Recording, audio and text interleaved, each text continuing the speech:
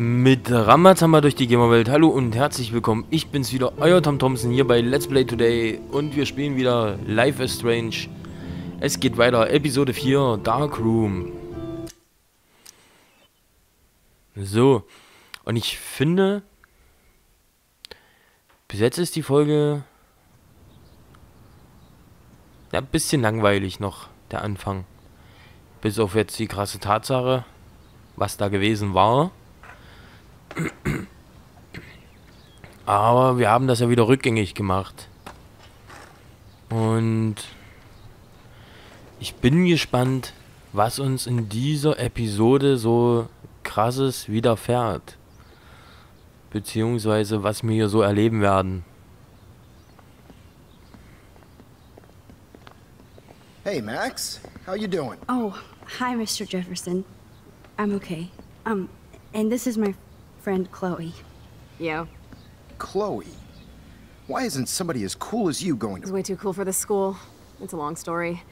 In actual files here. I can imagine. Max, are you sure that you're all right? It's weird just being on campus like everything's normal. I know, lame as it sounds, life has to go on. I think there's too much going on in my life. On that note, Blackwell duty calls. Remember, I'm going to announce the winner of the Everyday Heroes contest tonight at the party, so I hope you'll be there to celebrate, even though I'm sorry you didn't enter a photo. I understand your reasons. You can't force an artist to work. I feel like a total loser, but it's been a hard week to focus. No pun intended. I'm proud of you for caring so much about a troubled friend. And I take hope in the fact that you have plenty of time to find your way. Just get in the habit of putting your work out there. Thanks, Mr. Jefferson. I'll definitely be there tonight. Me too. I'll be Max's date. You better dance with us at least once. Nobody should have to see me dance. Plus, you don't want to watch the old hipster trying to keep up with the kids. I have some pride. Be seeing you. Yes, you will. Hot for teacher. Gross! You're out of control. Not yet. Just wait until the Rager tonight. Shut up. Don't be jealous because Mark Jefferson thinks I'm cool. I am so ignoring you. Fine. Since I'm here, I'll see if I can get some dirt from Justin. I haven't talked to him in a while. Now that is a great plan.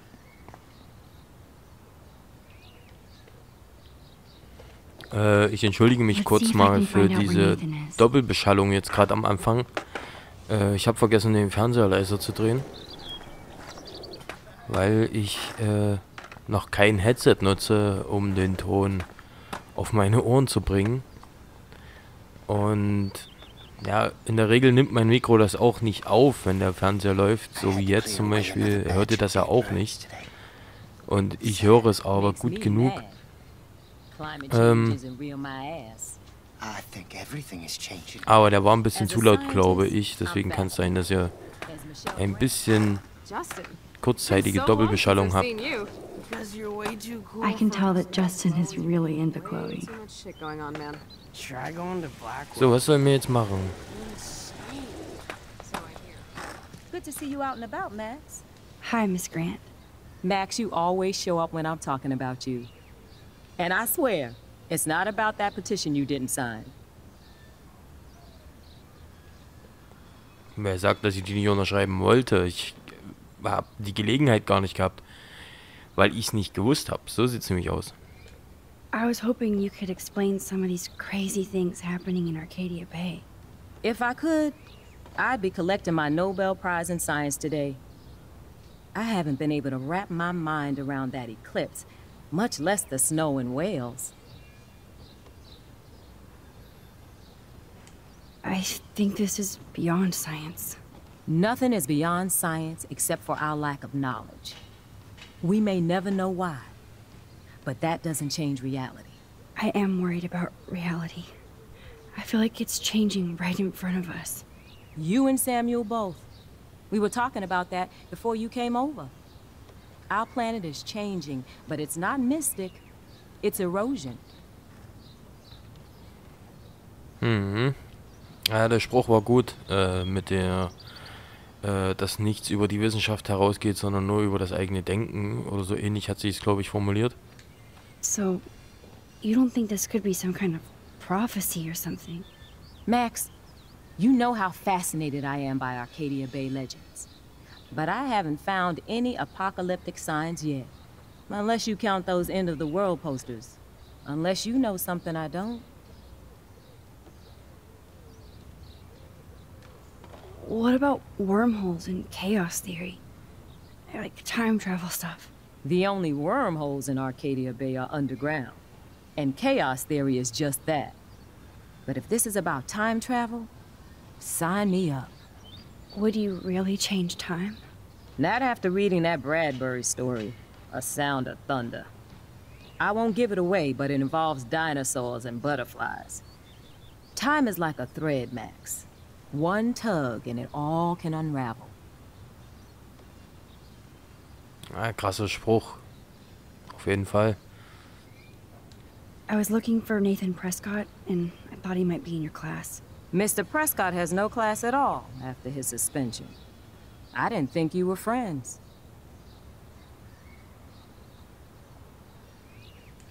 You probably know him better. I've tried. Nathan is a Prescott, and with that comes a lot of baggage. Too much for one teenager. This week was the proof. Principal Wells did the right thing. I know. Nathan needs real help. Yes, he does, Max. I did try once, but Mr. Prescott didn't appreciate my help. I did see Nathan leaving the campus looking angrier than usual, so maybe it's good you haven't found him.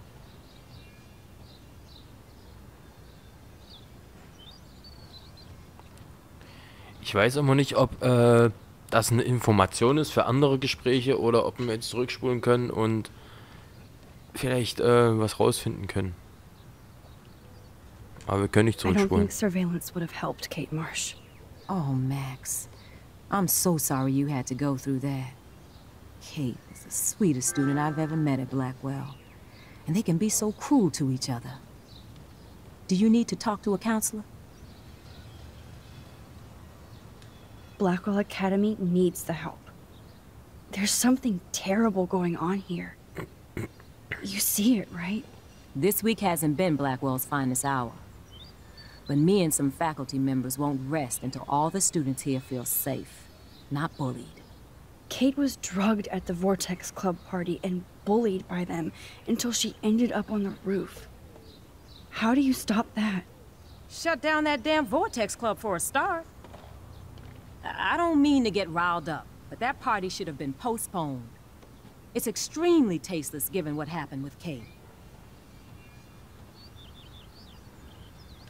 Do the Prescotts have anything to do with the Vortex Club? I mean, they don't get all their money from car washes. No, they don't. But membership has its privileges. Especially when your father is Blackwell's biggest sponsor. This elitist nonsense has no place here. You're right. I, I just wish this could be the school that I dreamed about before I came here. I hear you, Max. I love seeing you and Warren and all my students at your best here. But you're all too young to be so cynical. But you truly give me hope. I'm sorry, Miss Grant. I, I have to get going. I'll see you later. It's always good talking to you, Max. Good. Nathan is not around. I should go back to Chloe. How are you doing, Max? Been a tough week. I know. Yes, it has, Samuel. How are you? Sad and confused like everybody else in Arcadia Bay. You look like you have a lot of questions, too. More questions than answers. Samuel is always here to talk. Do you ever talk with David Madsen? He talks to me.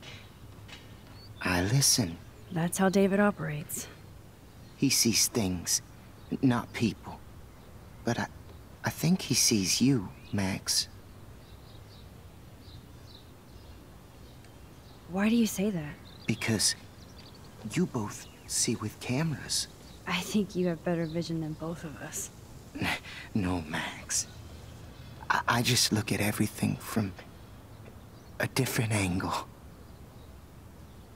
Der Typ ist schon irgendwie so ein bisschen besonders, sag ich mal. Also nicht äh, dumm oder, oder irgendwie sowas in der Art besonders, sondern wirklich besonders in der Denkweise. Der ist äh, sehr cool, finde ich. Have you seen Nathan Prescott around? That would be hard since he was suspended.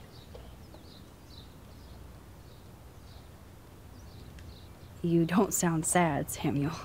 Nathan hurts people. The end. What do you really know about him?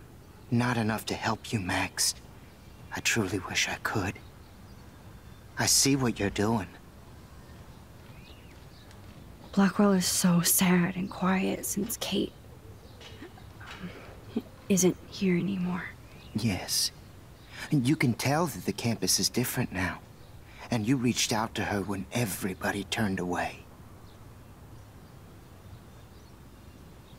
It could have gone either way.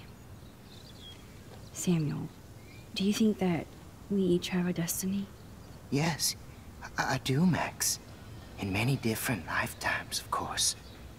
Kate Marsh believed in something different, so that's her destiny. I believe you. Kate just needed some more helpful spirits like her friend Max. I hope she finds them now. I definitely have questions about what's happening to the animals in Arcadia Bay. Oh, many do. These poor creatures have no choice in what happens to them. How can anybody explain all those poor beached whales? My dad was a fisherman, and he'd take me out to hear the whales sing. Now they... they just cry.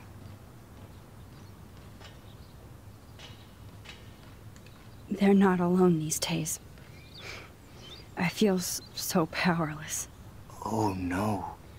You're the opposite of powerless, Max. You think so, Samuel? You and Arcadia Bay are connected by time and tide. So, next time I have a question, I'm coming to you. Ich weiß nicht, ob ich mich da jetzt gerade irre, aber die Frequenz, die ähm, Wale beim Singen, beziehungsweise wenn sie sich unterhalten benutzen, ist sie nicht eigentlich unhörbar für Menschen. Außer mit bestimmten Geräten, sag ich mal. Auf jeden Fall ist diese Frequenz sehr tief. Ähm, es kommt drauf an, also es gibt ja verschiedene Wale.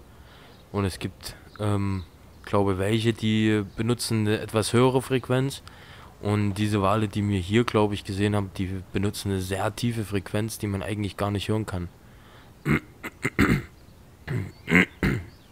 Entschuldigung. Ähm, well, I'm weiter. glad to see your squirrels are still healthy and happy on the campus. Me too. If something happened to them... Oh... Not as long as you're here to take care of them, Samuel. The only thing that calms them is food. Lots of food. Which reminds me th that I have to feed them now.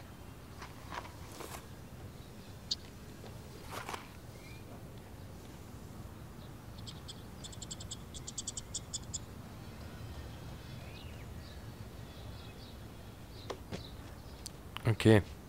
Good to see you out and about, Max. Naja, gehen wir mal zurück. Good. Nathan is not around. I should go back to Chloe.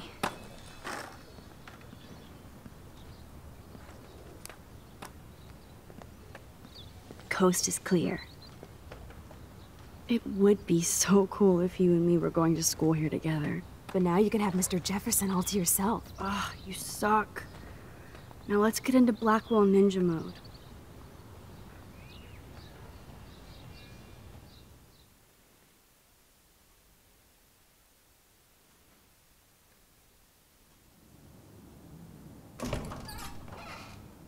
It's so lame they don't have co-ed dorms here.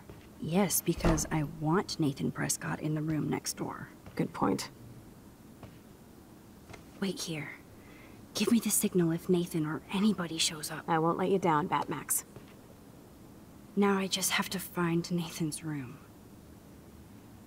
Okay, ach, wir sind im ähm, Jungswohnheim, Männerwohnheim.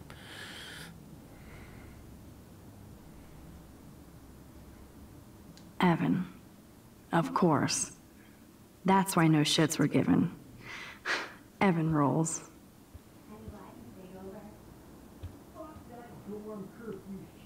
Showers. Die Dusche. Skateboarding is not a crime. Ja, Skateboarden ist kein Why, hello, Verbrechen. Trevor. And Dana.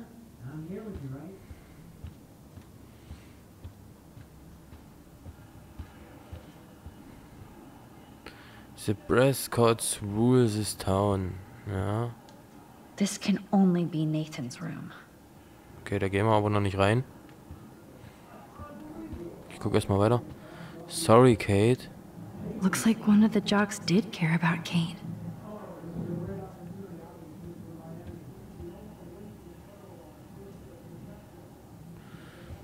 There is no unique picture of reality. Da ist, äh, es gibt kein einzigartiges Bild der Realität. Stephen Hawking, okay. Einzigartiges oder einmaliges Bild der Realität. Hello, Warren's room. Hawking and him make a good team.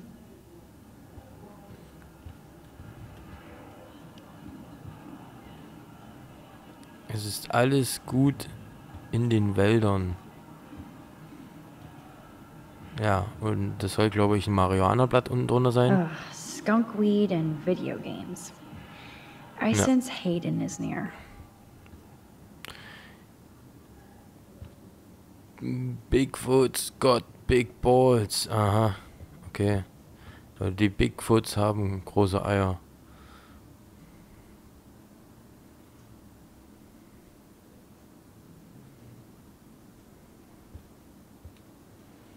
Can I has art, bitch? Sit and shit.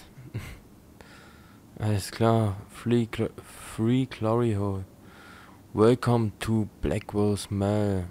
Was ist denn das hier? Ach so, das Scheißhaus. Okay. Scheint es gewesen zu sein. Ne, hier. Ja, hier waren wir schon. Genau. Hier gehen wir mal in das Zimmer.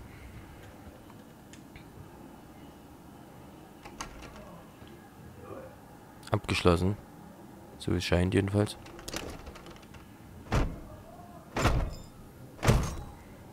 Na, natürlich.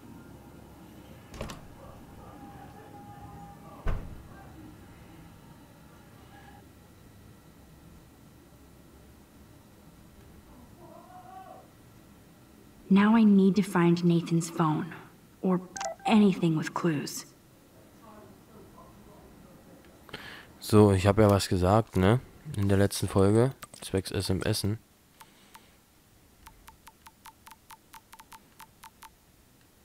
Hä?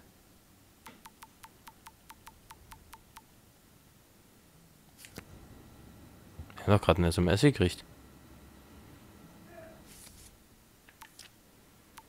Chloe, Courtney, Papa, Joyce, Julia, Justin, Kate, Mama, unbekannte Nummer, unbekannte Nummer. Taylor, Victoria, Warren. Hä?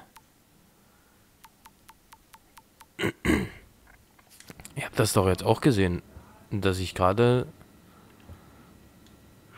I thought Victoria had the photo bling, but once again, that monochrome camera is brand new and cost about six grand. Bastard. Hm, Bastard. Bastardo. Schublade. Ich glaube, da kann man reingucken. That is so Chloe. Oh my god. Chloe. Chloe. Alter, warte mal. Ey, Arschloch, wir müssen reden. Entschuldigung. Ey, Arschloch, wir müssen reden, oder? Ich erzähle allen, was du getan hast und dafür wirst du bezahlen, Wichser.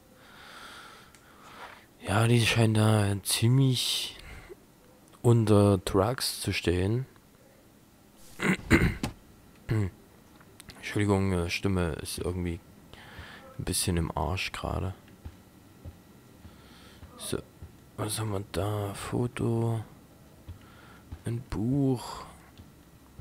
Komm, wir brauchen hier Material. Nathan took this from Kate's altar. Why? What is with this dude?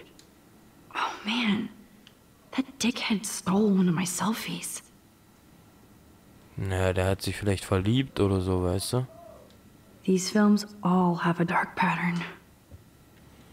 Er ist ein kleiner Psycho-Wichser, ist das. Kleiner Motherfucker oder so, ich weiß es nicht. So ein, äh, wie Kronk jetzt sagen würde, so ein Hustensohn. Finde ich sehr cool. So. Nathan is way into this party. Bad sign. Was geht? Victoria Chase, Nathan Prescott. Hey, meine Hübsche, sag mir, was du heute Abend zum Vortex Club anziehst. Zum Vortex. Damit ich genauso stylisch und teuer gekleidet sein kann. Ich bin voll scharf drauf und sammle nachher noch fette Partygeschenke ein. Ich habe meinen Alten gesagt, er soll die Bullen fernhalten, damit wir in Ruhe feiern können. Wenn wir schon den Weltuntergang feiern, dann richtig, oder? Jawohl. Oh man. Sean Prescott might be Nathan's real problem.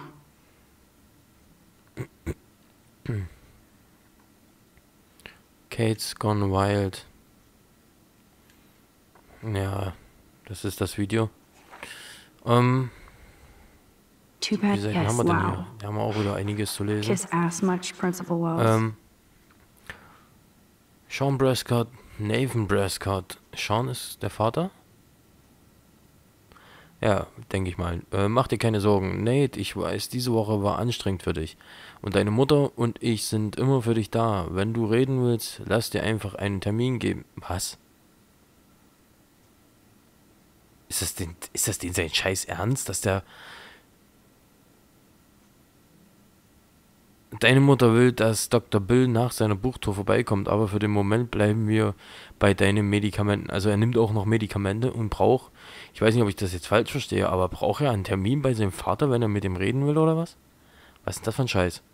Äh, während der Entwicklung von Pan Estates brauch, brauche ich einen besonnenen und ruhigen Sohn.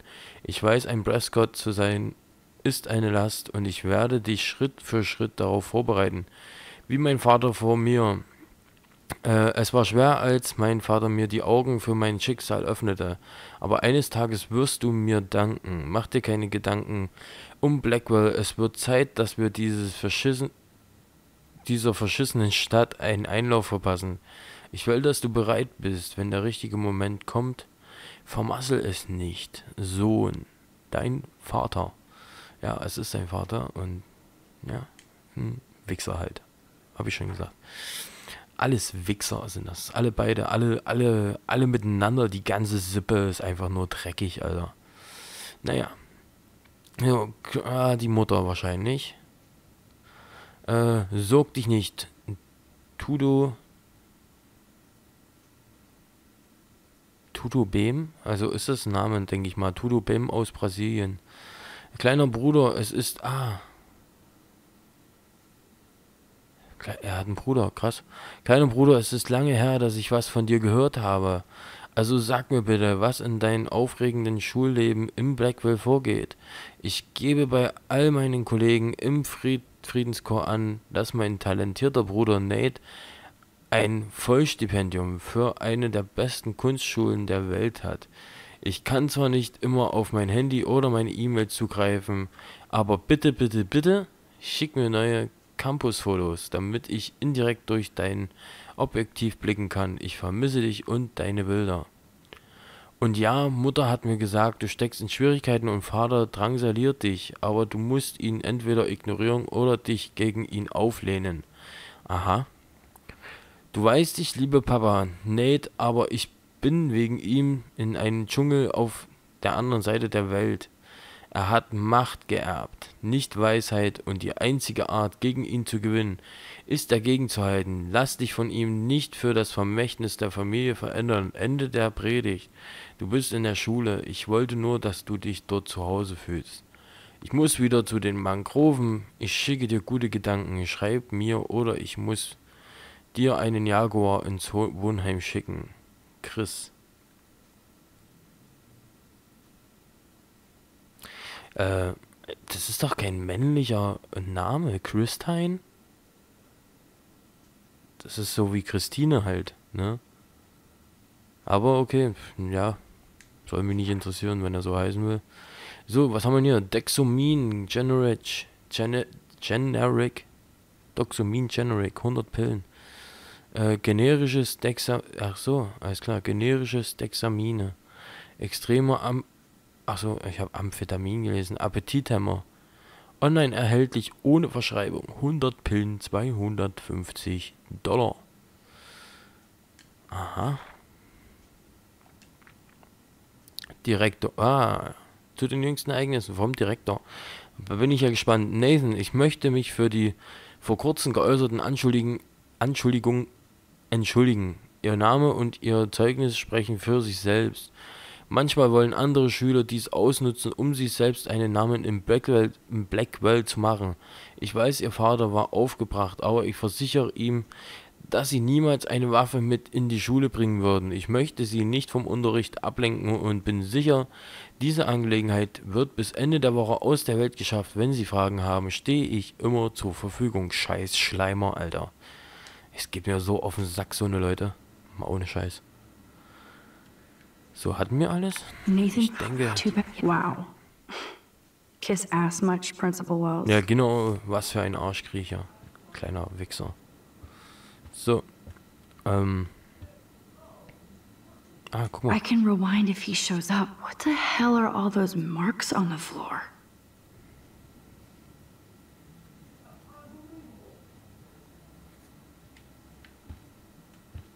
Let's find out what you're hiding. Das geht mir so auf den Sack mit der Anwendung.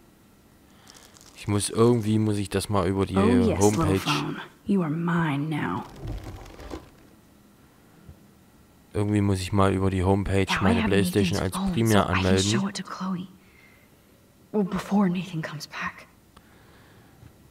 damit ich diese Meldung nicht mehr erhalte. So, okay, wir sind hier fertig.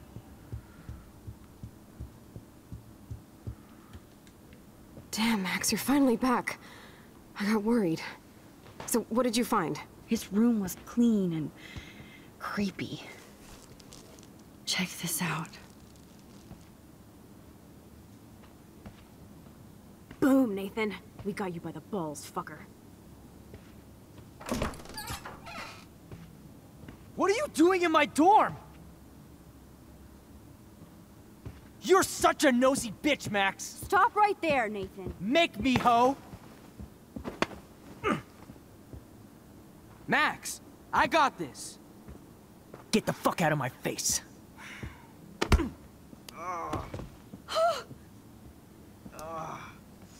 You are so fucking dead! Ah.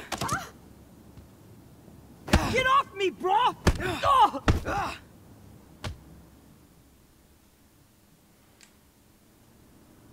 Warren, stop it! Come on. Oh, oh, my head. Uh, Why are y'all looking at me like that, huh? You and you, you're all dead. Let's go. Now. Plus, my dad is on his way. You're all fucked. He owns you. Ähm, Even if Nathan definitely einfach weil es mich to be- interessiert, was äh, ist, wenn wir uns raushalten. Macht er den dann tot oder so? Das wäre ganz cool. Dann hätte sich das ja eigentlich erledigt. Das ganze Spiel und dann können wir hier das beenden, die ganze Sache. So, raushalten. You like to hurt people, huh? Like Max? Like Kate? Like me? Huh? Feel this, motherfucker? Genau, Alter. Der hat sich anders verdient. Get off me! Please! Please stop! He's down. Hey, come on. Stop. Sorry. Yes, we have to go.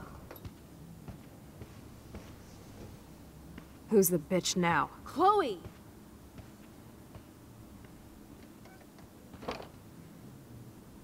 Damn, Warren went full alpha on Nathan. And it was good. But scary. Shit, man. This really hurts. Darf ich auch nochmal drauf treten? Bitte. Nur wenigstens einmal. Was mich jetzt an dem Szenario ehrlich gesagt stört, ist, dass äh, Chloe die Waffe hat. Und somit mh, das Beweisstück rein theoretisch ja weg ist, dass er eine Waffe besitzt. Und dazu kommt, dass er ziemlich in die Schnauze gekriegt hat und wir keinen Beweis mehr haben. Aber okay. Ähm, einfach weil ich es für richtig halte, dass er mal richtig die Schnauze voll gekriegt hat, dieser kleine Pisser. Werde ich die Folge so weitermachen.